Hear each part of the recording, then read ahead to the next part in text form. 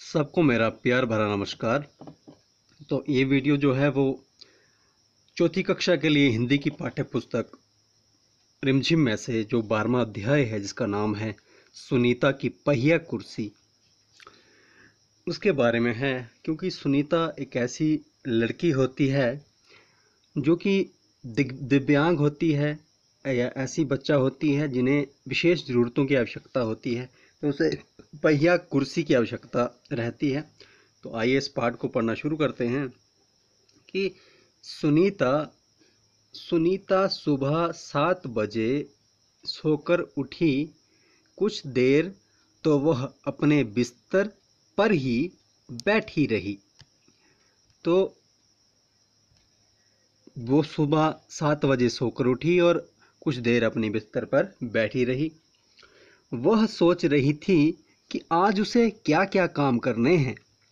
उसे याद आया कि आज तो बाज़ार जाना है।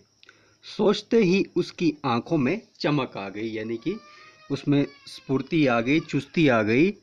सुनीता आज पहली बार अकेले बाज़ार जाने वाली थी। तो वो पहली बार बाज़ार जा रही थी और इसलिए उसके आँखों में चमक आ गई। उसने अपनी टांगों को हाथ से पकड़कर खींचा और उन्हें पलंग से नीचे की ओर लटकाया, क्योंकि वो दिव्यांग बालिका थी और उसे विशेष ज़रूरतों की आवश्यकता थी। इसलिए वो, उसने अपने जो टांगे हैं, वो पलंग से खींच के नीचे की ओर लटकाई।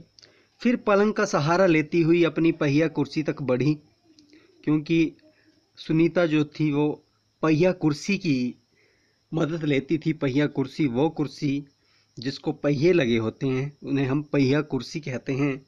तो सुनीता चलने फिरने के लिए पहिया कुर्सी की मदद लेती है। आज वह सभी काम स्फूर्ति से निपटाना चाहती थी। हालाँकि कपड़े बदलना, जूते पहनना आदि उसके लिए कठिन काम है। पर अपने रोज़ाना के काम करने के लिए उसने स्वयं ही कई तरीके ढूंढ निकाले हैं। आज सुबह आठ बजे तक सुनीता नहा धोकर तैयार हो गई और उसके बाद उसने देखो, माँ ने मेज पर नाश्ता लगा दिया था। माँ ने मेज पर नाश्ता लगा दिया था। नाश्ता यानी कि सुबह का भोजन जो होता है उसको हम नाश्ता कहते हैं। तो माँ ने मेज पर नाश्ता लगा दिया था। माँ अचार की बोतल पकड़ाना, सुनीता ने कहा, अलमारी में रखी है, ले लो। माँ ने रसोई घर से जवाब दिया। सुनीता खुद जाकर अचार ले आई। नाश्ता करते करते उसने पूछा, माँ, बाज़ार से क्या लाना है? एक किलो चीनी लानी है, पर क्या तुम अकेले संभाल लोगी?